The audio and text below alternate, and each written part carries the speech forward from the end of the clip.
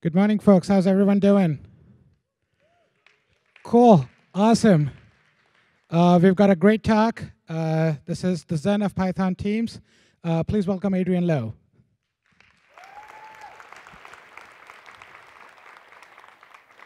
Hey everyone, can y'all hear me okay? I am so excited to be here. I always like to start with a thank you because it's such a pleasure and a privilege to get this stage, and I don't take it for granted.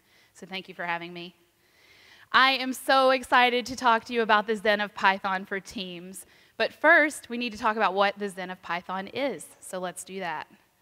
The Zen of Python is a collection of 19 guiding principles that have influenced the development of the language, and you can see them here.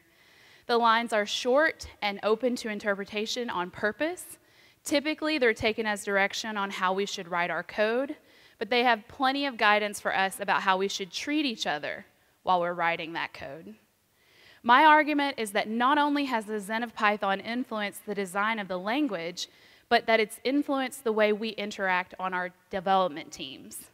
There's something uniquely Pythonic about Python teams, where we emphasize values of collaboration and transparency and trust.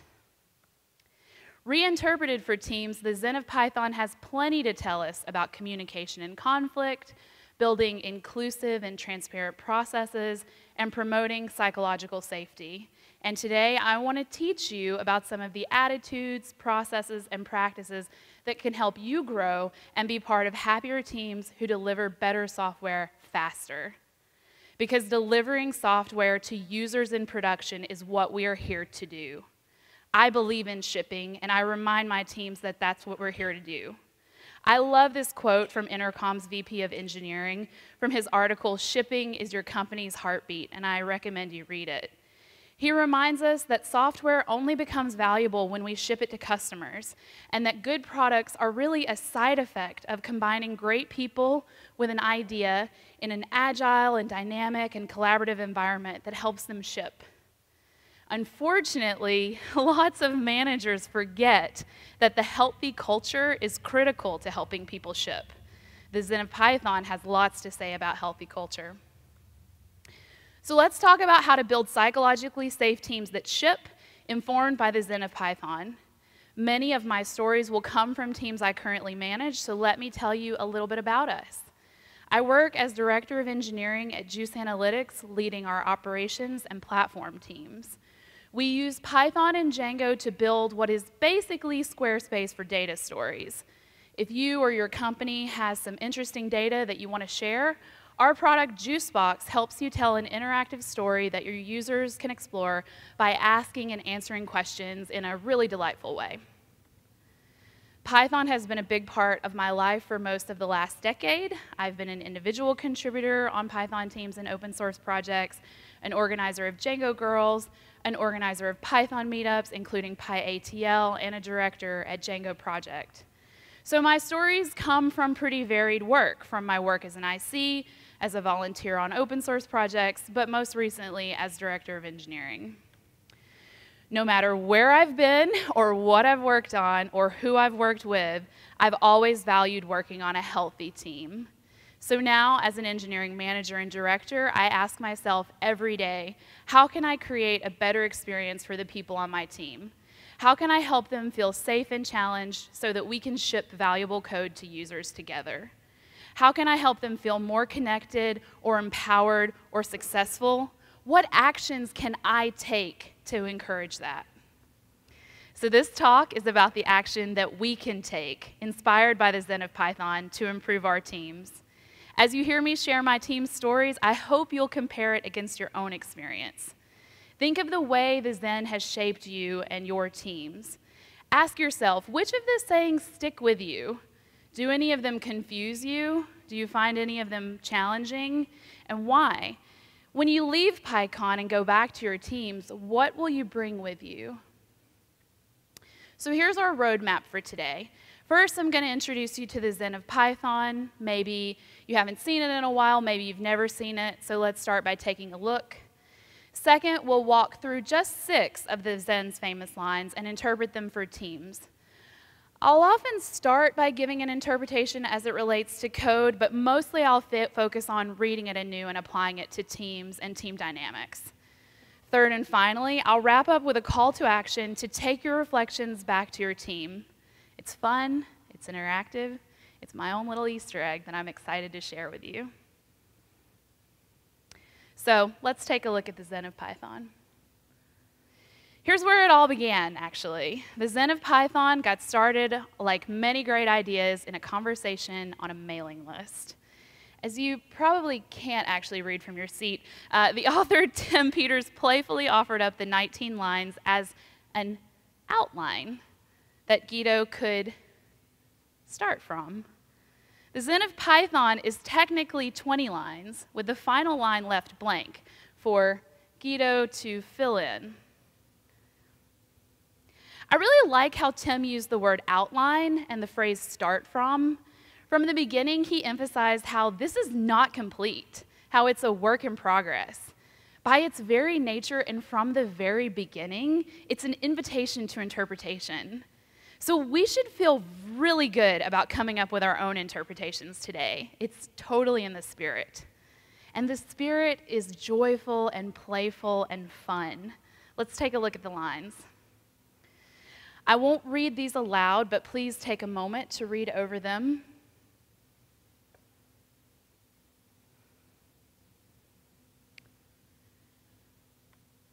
So the Zen of Python came to us from this humble beginning on a mailing list to being incorporated as part of the Python enhancement proposals as PEP 20 to being printed on the back of our PyCon shirt two years ago. It's seemingly everywhere, and it's also right here with you, baked into your interpreter as an Easter egg. That's right. As long as you're running Python, you can run import this, and nope, nope, wrong cue and read the Zen of Python. Give it a try. That's not the type of manager I am. I am not a snap and pointer, just for the record, but that would have totally spoiled what we were trying to do. The word is here's your cue. So now that we've seen the Zen, let's step through six of the lines and interpret them for teams. Let's start at the beginning with beautiful is better than ugly. So, okay, the Zen of Python totally comes out swinging with this one. It's a hard one. And it's hard because words like beautiful and ugly are tricky because we implicitly understand how subjective and contextual they are, right? They require context to make meaning. And even when we have that context, we can totally still argue about it. One person's clean code is another person's cave painting, and some people think clean code isn't even a thing, and we should stop saying that phrase. When I was little, the word ugly didn't just mean aesthetically displeasing. It was actually used to describe behavior, as in ugly behavior, as in acting ugly. Acting ugly meant misbehaving, but a special kind of misbehaving, usually directed towards adults, usually connotating disrespect. You need a little context with parents and kids, possibly in the southern US, to wrap your head around the idea of acting ugly. But if you'll grant me the idea that we can act ugly, then we can ask, what kind of behavior is ugly on our development teams? What have you personally seen done on your dev teams that has put your group two steps back? I have a few ideas of some things I've seen. How about hoarding information? That's when someone knows something helpful that they could share, but they choose not to. It defeats the purpose of collaboration and growing together when we hoard valuable information that could be used to help others. Or how about bitter cutting code reviews? Has anyone in this room ever been subject to a bitter or cutting code review that seemed designed just to cut you down and make you feel bad? That's horrible, and I'm sorry that was your experience because that should not be the goal of a code review. It should be to critique the code, not the person. Or how about if somebody wants to get started on your project, but there's no information about how to get started? There's no README, there's no docs, there's no one to ask for help, there's nobody who wants to help. So let's break this down just a little bit more. To help interpret this line for teams, I want to introduce you to Ron Westrum's typology of organizational cultures. Westrum wrote a paper in 1988 where he identified three types of leadership styles that give rise to different types of team culture and communication. He'd been researching human factors in system safety, particularly in the context of accidents in technological domains that were highly complex and risky, such as aviation and healthcare. So, big deal. His types are patholog pathological, bureaucratic, and generative. Your team's type will be reflected in its leadership, the way it approaches problems and conflict, and the way communication flows or does not flow in your organization. On pathological teams, information is viewed as a personal resource to be used in political power struggles. These power oriented organizations are characterized by large amounts of fear and threat. People often hoard information or withhold it for political reasons or distort it to make themselves look better. These environments discourage taking responsibility because people are scared. Sounds pretty ugly to me. On bureaucratic teams, in contrast, alignment with one's team takes precedence over alignment with the larger mission. In other words, individuals feel more loyalty toward their immediate team or group than they do toward their company and its goals. They protect departments.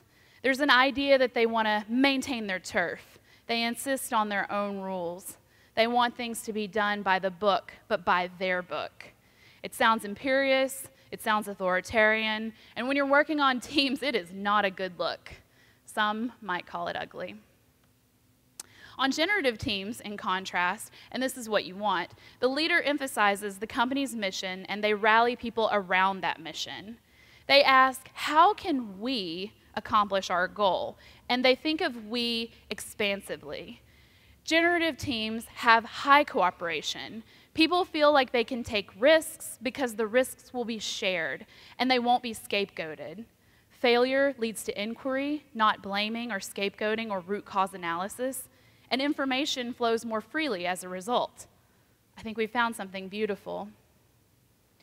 Westrum noted that leaders set the tone for their team, but we're all still responsible for our own actions. So ask yourself what kind of team do you want to be on? We could debate beautiful code all day. Thankfully, kind behavior is a lot more clear. Being explicitly welcoming and sharing information freely, providing support and making it safe to ask questions, challenging code, not people, are just a few of the hallmarks of a healthy team. For more on Westrum's model, as well as other technical and leadership capabilities that will help your team ship, I highly recommend Nicole Forsgren's book, Accelerate. It's been a huge help to me, but let's get back to the Zen of Python and our second line today. Explicit is better than implicit makes me think of how important documentation is. Healthy teams document their processes and expectations and offer how to's. They provide playbooks and resources and onboarding guides and tutorials. They make it clear how to contribute and what steps to take and what to do when you're confused. They do this because documenting your processes makes it easier for others to join you. Now, without good docs, people who already know each other can mostly muddle through. This is because they are cheating and they're leaning on existing relationships that they already have to get unblocked and get their questions answered.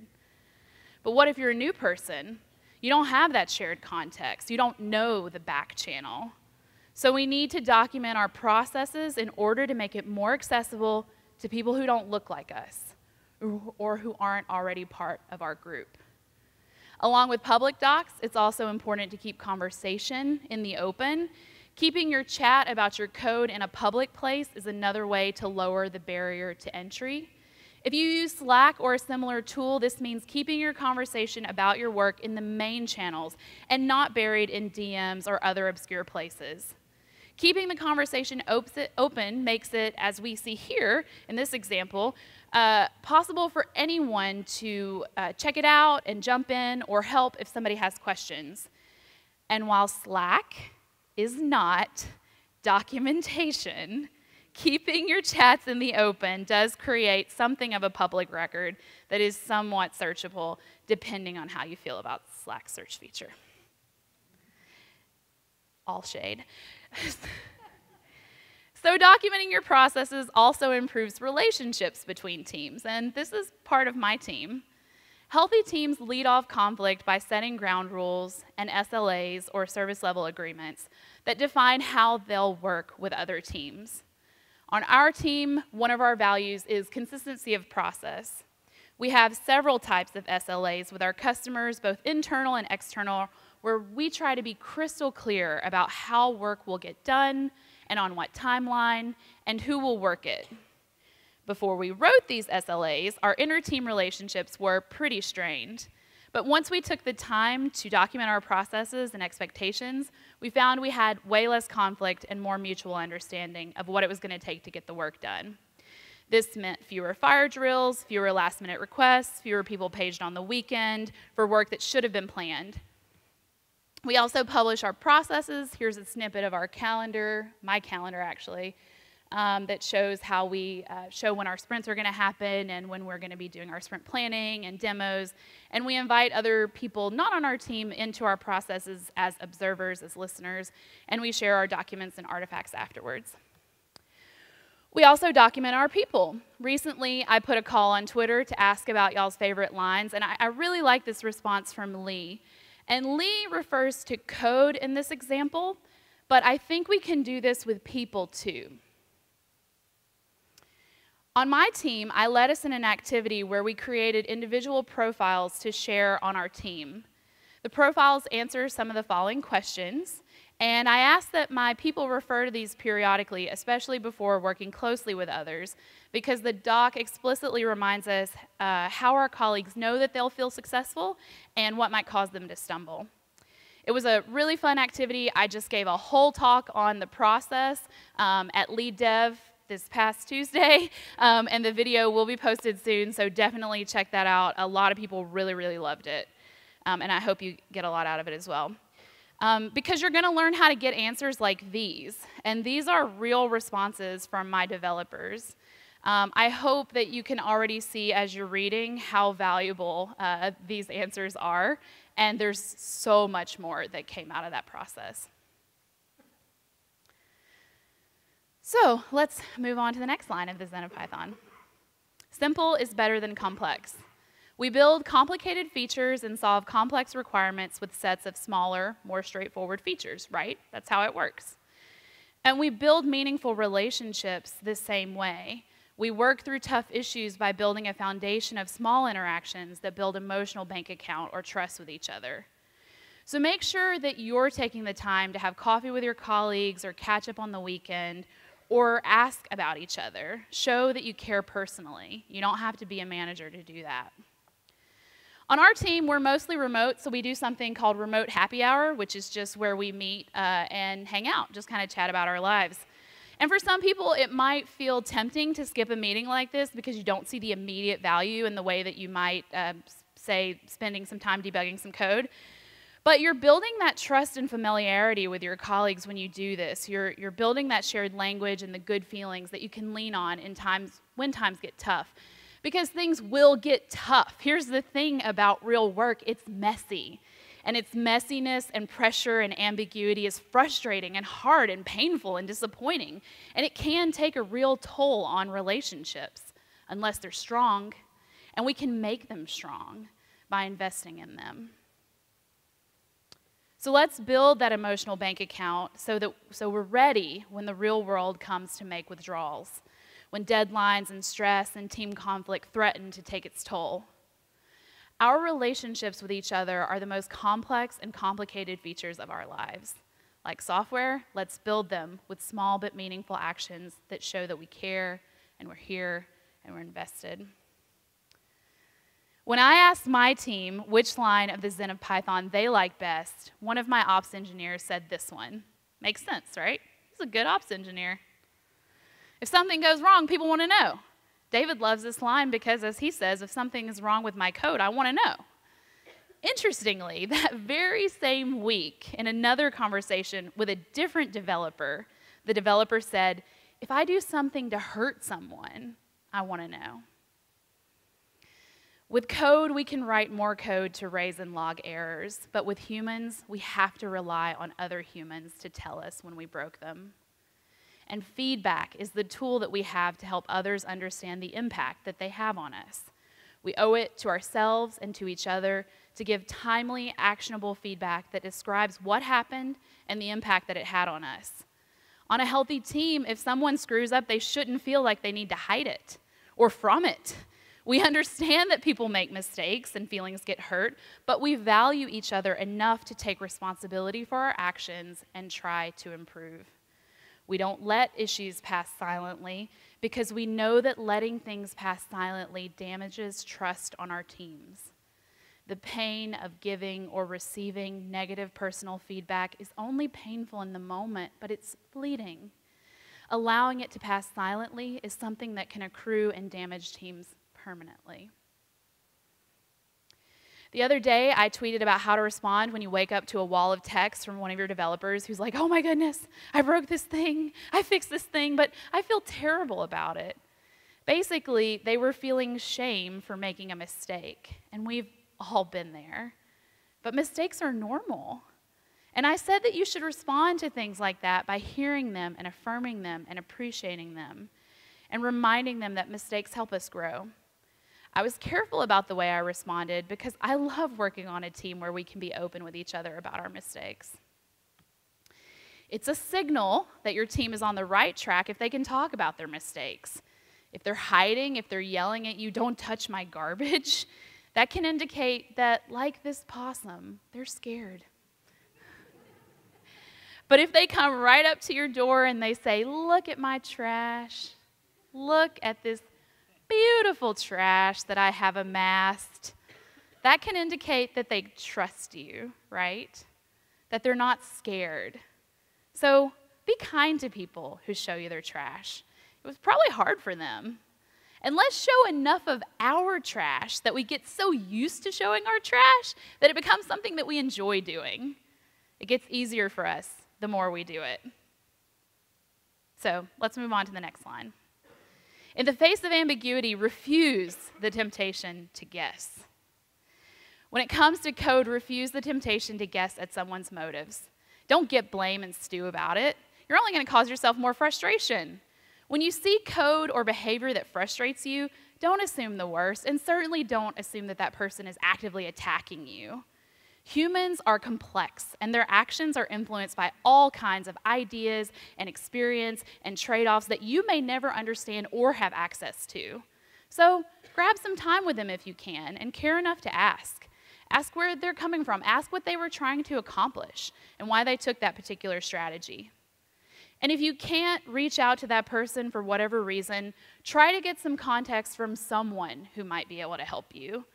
Put the questions on the PR, open a GitHub issue, address it, confront it, be assertive, challenge directly while caring personally. Refuse the temptation to guess. I really love this reflection from my lead, Megna, on why this is one of her favorite lines, and I, I think it works for people too. It can be really tempting, sadly, to explain away people. Like uh, we might say, well, she's in, she's in sales. She probably doesn't care how the code works. Um, and while it can be tempting to explain away people like this, I've found that if you set really clear expectations and give clear guidance and have good docs that show that you care and make it safe to fail, people will typically exceed any expectations you ever could have had for them. And one final note for the managers in the room. Do I have any managers in the room?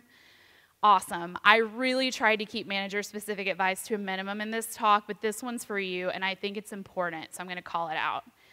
Your weekly one on one time is your time to beat the guessing game. Please don't guess about how your direct reports are doing or what they're struggling with. Use the time you already have scheduled to ask good questions about what's really motivating them what's frustrating them, and how they'd like to grow. Please don't guess. If you'd like advice on how to have better one on ones, I have another lead dev talk that I gave last year that's already available online. Okay, it's time for the last line of the Zen that we're going to focus on today. And what better time? For the line is now is better than ever.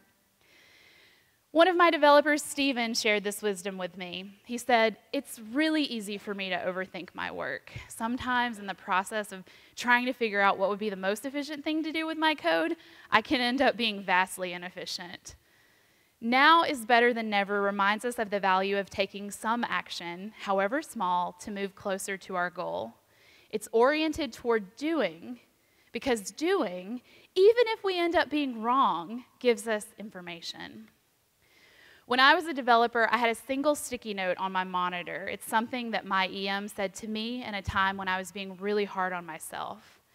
Doing and being wrong is a lot better than not doing at all.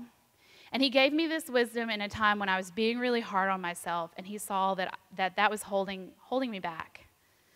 He wanted me to feel safe to try things, even if it meant screwing up and breaking stuff. It helped me through some really hard times as a developer, and now I pass it on to my engineers as a manager. And there comes a time in my relationship with each of my direct reports, no matter how senior they are, when I have to share this sticky note wisdom with them. I share it when I feel like they need it.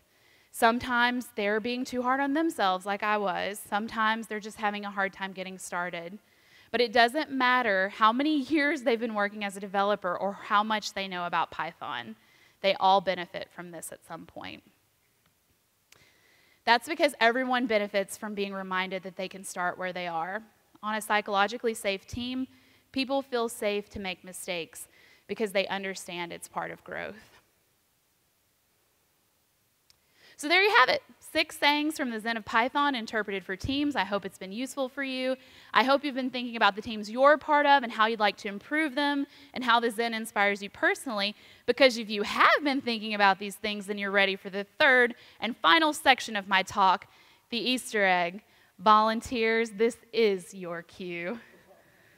Yes, the Easter egg. The Zen of Python is an Easter egg, so it just made sense that my talk would have an Easter egg as well, right? PyCon volunteers are now coming around the room with something special for you. Thank you, PyCon volunteers. It's an egg. But what are we going to do with these eggs? Well, we know that the Zen of Python is itself an Easter egg, and we also know that the final line is as yet unwritten. And we remember that the Zen of Python started as an invitation to interpretation. And finally, we remember that Tim Peters left the last line of the Zen of Python blank for Guido to fill in. Well, here you go, Guido. We're going to help you out. Hashtag here you go, Guido. Inside the egg, you're going to find some directions. Write a phrase that you would like to bring back to your team. Write something that you want to be reminded of, something that you would stick on your monitor, or something that you would tell someone new on your team or someone new to development. Write the 20th line of the Zen of Python and then share it. Post it on Twitter with the hashtag and the hashtag ZOP20. tag me too. I'm Adrienne Friend. I'll probably retweet you. Take a picture and drop it in your team Slack channel. Take your wisdom back to your teams. I'm really excited to read what you've been dreaming about and what's challenging you and how you want to grow. I'm thrilled for the teams that you're part of. Thank you again. Long live the Zen. Long live Python.